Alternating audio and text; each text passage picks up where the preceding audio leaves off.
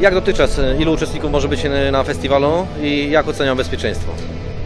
E, W tej chwili e, za naszymi plecami jeszcze trwają prace, ostatnie prace przed startem festiwalu, ale wiemy, że na polu stokowym w Kostrzynie jest około 100 tysięcy uczestników tegorocznego spotkania. Spodziewamy się większej ilości tych osób. Z każdą godziną przyjeżdżać będą kolejne samochody i przede wszystkim kolejne pociągi.